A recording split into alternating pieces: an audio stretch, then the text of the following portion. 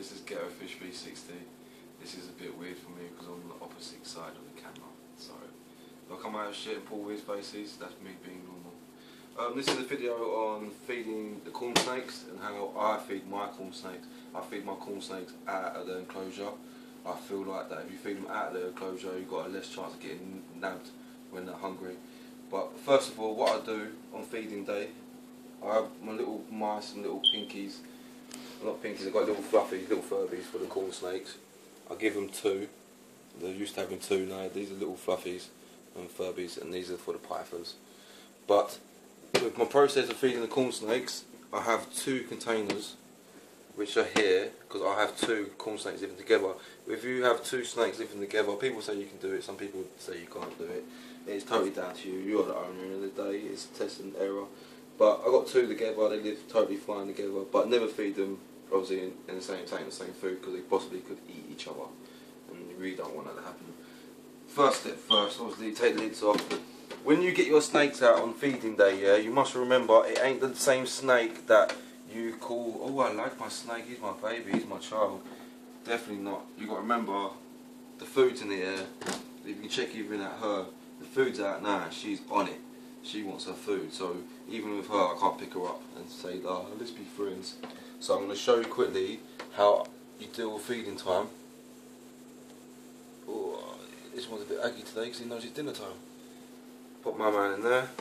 One time, no cuddles, no nothing. Let's keep it nice and easy.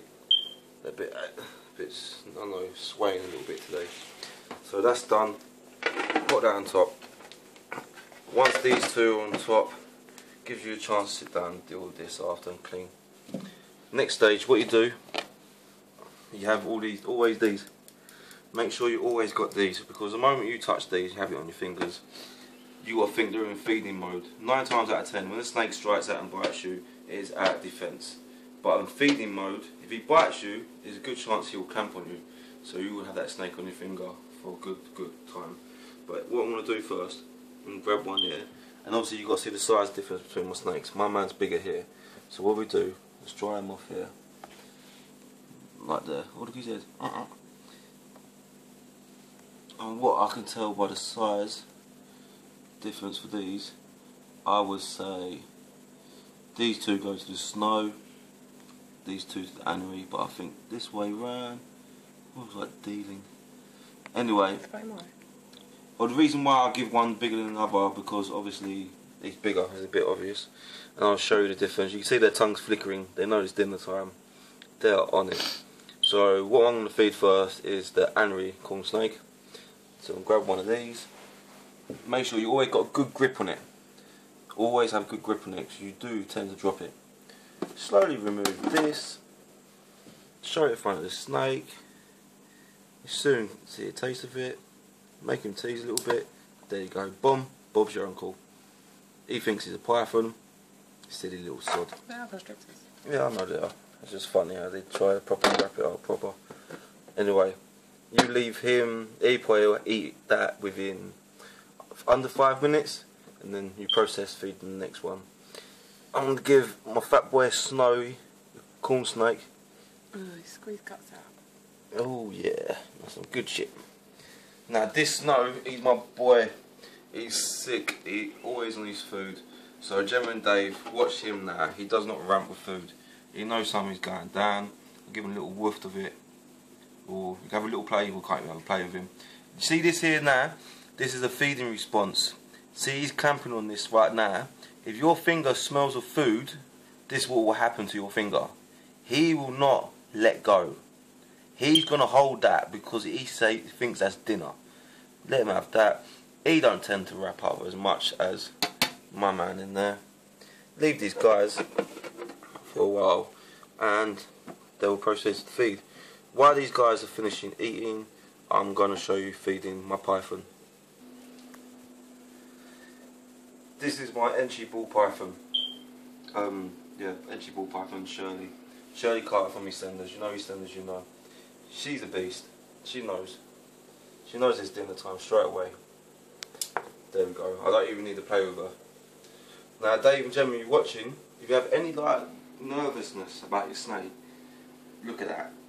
That's That's that's that's serious. Like you got to be more scared of that than you would be at the corn. So don't worry about when you feed and all that. Even these guys. Oh, she's got that. This Enchi. This Enchi don't. You can see her just just tighten even more. This this she don't ramp. She really really really really doesn't play about as a snake. But yeah, that's enough about her. We're to move on to the corns again. 20 minutes later, people, Shirley's decided to grab her food. She is a annoying little shit. She likes grabbing it and then she wants you, she let go of it and then she wants you to pick it up again and then you put it down and the food gets too cold and she starts looking at you for dinner and just like, ah. And you notice, look at me. I'm bloody guarded up, mate. I ain't ramping with this thing, you're mad. No way.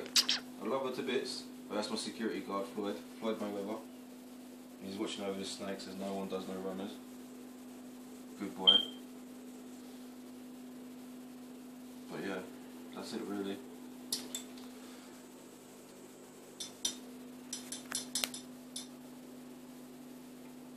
I'm gonna do them yet. Next stage I'm feeding them, you can see their belly nice and popping a little bit but they're looking for food again. The reason why I believe that I feed them to mice and fuzzy is because if you look at these, This one I made doing this. yeah, she's yamming her food, so I'm over here now. But if you look at these, they're not mature. Not mature, no formal way. Not like, like look, no fur, no nothing. You've got a little tiny bit of fur going on. They're, a little, they're a little bit bigger than the pinkies. But what we do now, take these guys. This is the reason why I feed them too, so they get enough nutrition. So once they move on to the furry things, that's when I'll slap them to once a week. Same thing I've done with my pythons now. They are once a week now of these guys. But here we go. You want to feed this guy, chronic. Make sure when you open the lid, your fingers are nowhere near. See you twitching out already? Always, always stress to people. You may love your snakes, but it's not the same snake as. Mm-hmm. well, you see, he's, he's twisting with his fat belly. It's not the same snake that you cuddle every single day. He's in the food response. He will bite you. Now, my man here, he's swaying there. If you look over, you look over the snow. He's on it. He ain't the same snake. When you see a snake move like this, and his head swinging, his tongue's flicking like that, he's on it. I'll see if he bite my toe. Won't just my toe. What we do? He's on it. See, nice chunky one here. Got to hurry up because Shirley over there is nearly done. But what we do here, ready? This is the last one. Always be prepared. Make sure where the face is, away from your hand, always. Oh, there we get stuck again. And there we go. What should we do? Show him the food. There we go. He don't ram. He loves his dinner. He loves his grub. Come get your dinner. Good boy. And that's it really. Wait for them done. I'll show you after in a second how you um, take them, remove them from here and put them back to the home. I'll show you how to do that. But I have to move over to her now because she's got to go back home. So um, let me come back to you in a sec.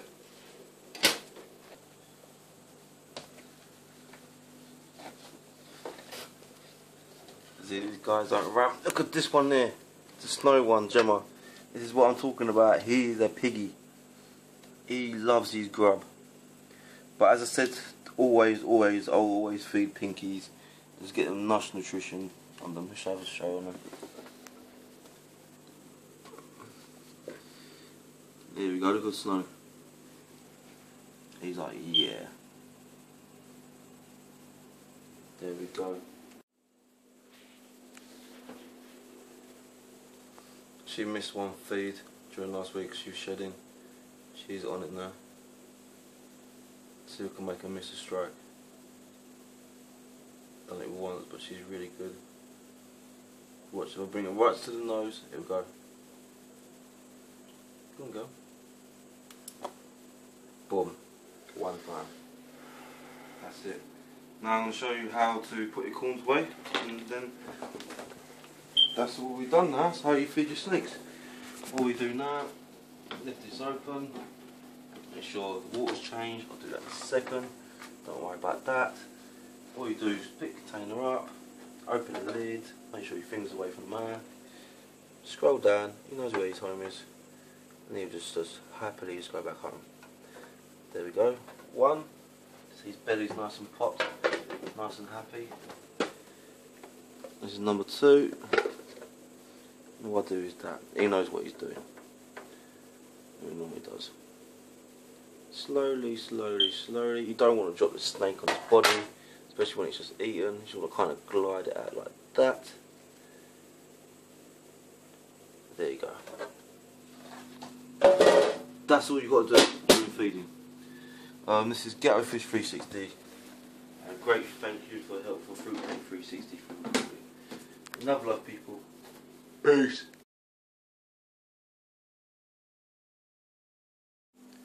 Oh yeah, this is Ghetto Fish 360. I just forgot to have a, also a big shout out to my beautiful feet, as they also was a star in the video. As you tell, I got pretty feet. My little caveman feet, busted little muscle sausage finger feet, my big toe feet. This is Ghetto Fish 360. What are you doing? Don't do that. No, they're better when they're shown off. Oh, don't do that.